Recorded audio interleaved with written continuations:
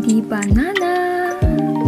What's the ingredients? First is ice, second is carrots, banana, and milk. First, cut the banana. Then put it on the pitcher.